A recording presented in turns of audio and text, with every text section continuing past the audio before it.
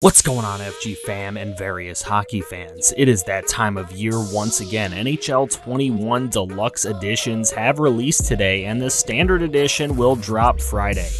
There is nothing I enjoy more than team building, so it's time to go over the top 10 teams to use in NHL 21's franchise mode. With an odd playoff structure this past season, a list like this is very hard to make, but I think I've narrowed it down to my personal top 10 choices that would be the most fun. Of course, what you'll be viewing on your screen is base NHL 21 rosters, and I can't wait for the roster update that will actually add some big rookies and signings, which I'll kind of go over in this video for each team, of course. This list is not ordered, so I will be going in alphabetical order by team name, not city. So without further ado, let's get into it. The first selection on the list is the Chicago Blackhawks. Over the span of seven years from 2008 to 2015, the Blackhawks won three Stanley Cups and lost two Western Conference finals. This once dominant team has gotten older and fizzled out. However, there is some young talent that is easily groomable between Strome, DeBrincat, and Nylander that can take this team back to dominance and help you build a dynasty. One issue that will need to be fixed is the goaltending situation as Crawford has moved on to New Jersey, and I'm not sure if Malcolm Subban is the future in net for Chicago, nor am I sure if they have anyone in the AHL who can be that guy. Fortin and Entwistle, along with the 17th overall pick Lukas Reichel, should be interesting to watch develop and earn a spot in your NHL lineup. Be careful though, because Chicago only has about 2 million in cap space. Overall, the Blackhawks aren't the most urgent rebuild around the league, but I know there are many Blackhawk fans out there who will look to bring their original six team back to greatness. Next, we have the New Jersey Devils. The Devils have been abysmal since losing the Cup to the Kings in the 2011 2012 season. Though it has helped them stock up on a bunch of young talent over time. Travis Zajac is the old man on the team now, and guys like Hischier, Hughes, and Bratt are the future in the Garden State. PK Subban is another veteran leader on the team, and they're going to need that leadership to help bring along their three top 20 picks in this past draft. Alexander Holtz, Dawson Mercer, and Shakir Mukhamadullin taken at 7, 18, and 20 respectively. They also have over 19 million in cap room to bring in some free agents if you deem that necessary.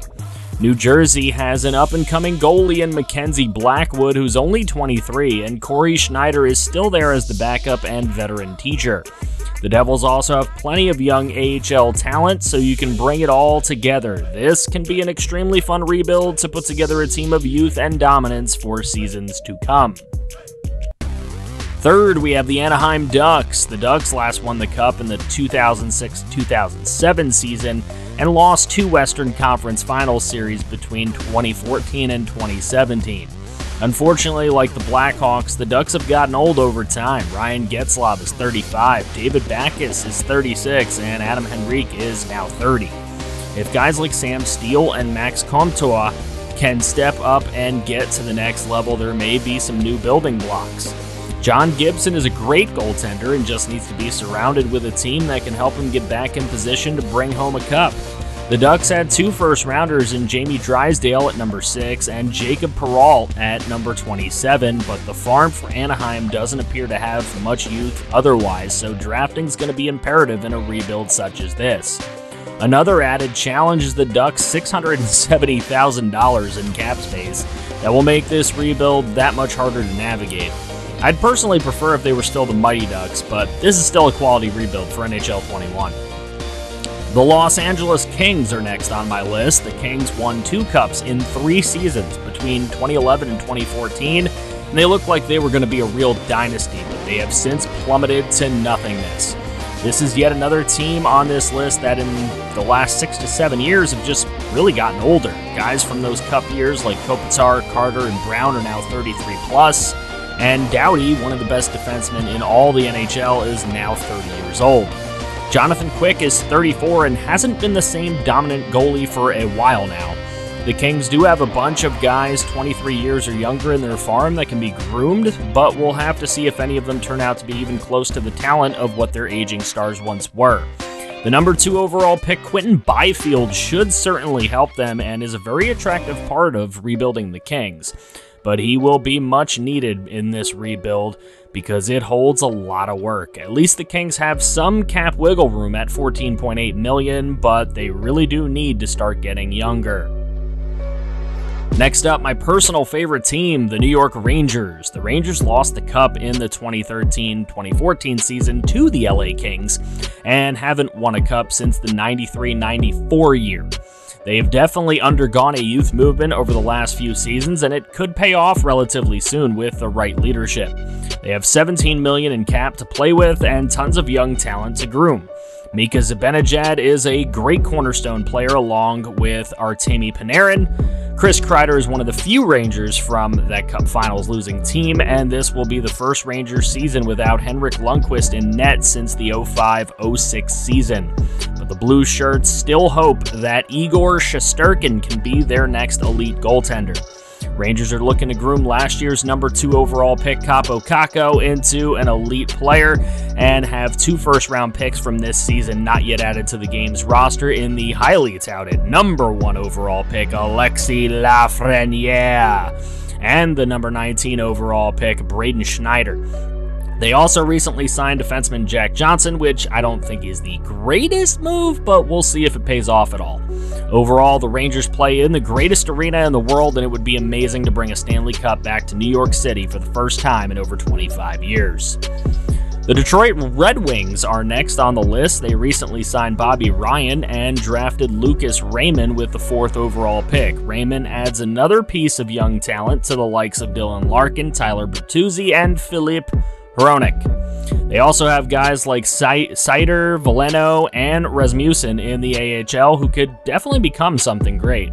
The problem with Detroit is they're old and mediocre goaltenders in Jonathan Bernier and Jimmy Howard, and I don't see anything that can help them in the AHL.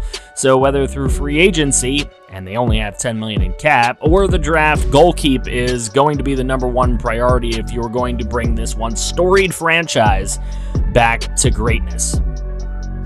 We move on to my friend Craniac Gaming's favorite squad. Check his channel out in the description below.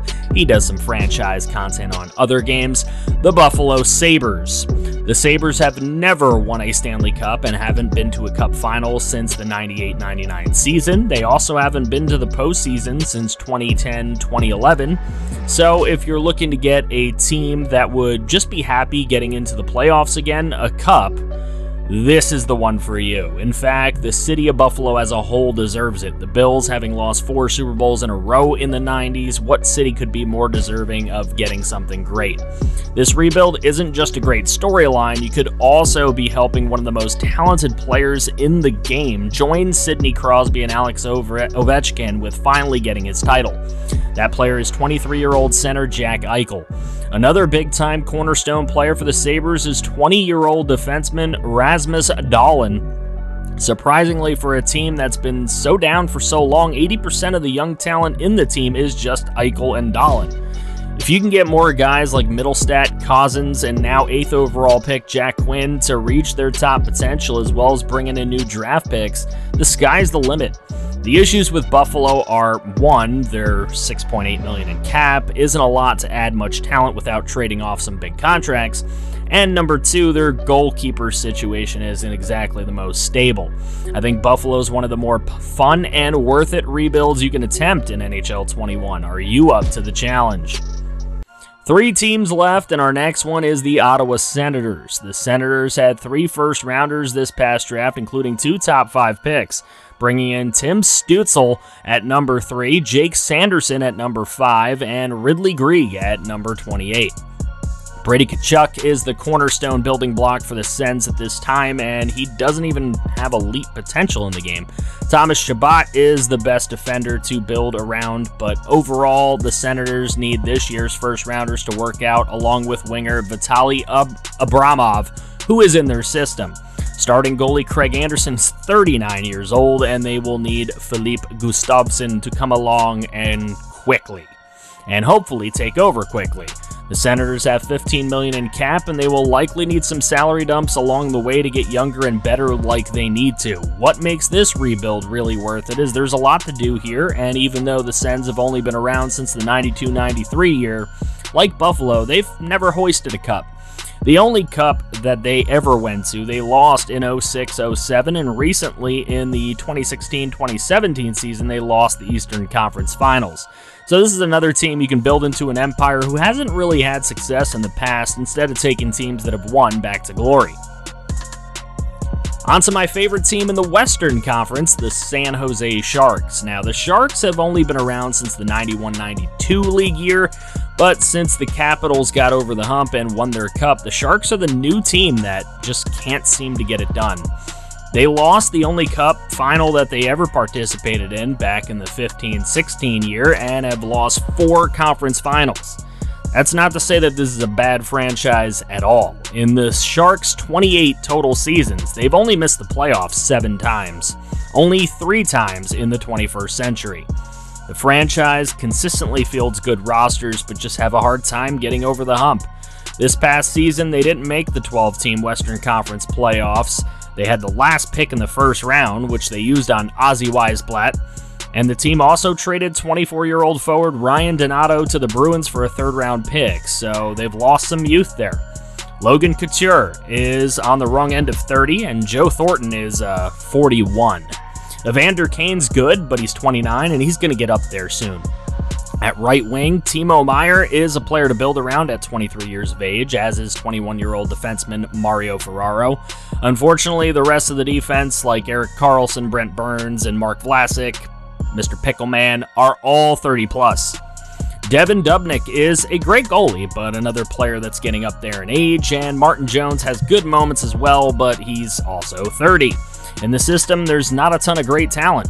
Ivan Chekhovich has to be good in this rebuild, and maybe Josef Carnar can be a future starting goalie. If not, there's going to be enough work here to do with the San Jose Sharks and their $4 million cap space. That'll bring us to this season's final top 10 rebuild team, the Minnesota Wild. The Wild franchise began at the turn of the century and has been to one conference finals back in the 02 03 season, their third season in the league, which they lost. Now they've been to the playoffs seven of the last eight years, but have yet to reach another conference final. Mikko Koivu is 37 and is team grandpa. Luke Kunin is the clear building block at center for Minnesota, and at the wings, Kevin Fiala is a guy to build around at 24, and Zach Parise should be dumped off if at all possible. At 36, his $7.5 million price tag just isn't it, Chief. The Wild brought in Matt Zuccarello of the Rangers, and as much as I personally love the guy, I wouldn't be paying him 6 million per season at 33, which is kind of why he isn't a Ranger anymore. On defense, they're led by another old head in Ryan Suter, who's 35 years old, with no one currently in the system to help. Hopefully, the ninth overall pick, Marco Rossi, can change that. At goalie, they did sign Cam Talbot, who won't be shown in this roster, and hopefully that'll work out because their current goalies are either aging and mediocre or need some more time developing. Minnesota's another challenging rebuild because you need to decide if making an eighth playoff trip in nine seasons is that important to you, or if you should go for some salary dumps to increase the under $500,000 cap space. No question, this team needs to get younger and cheaper.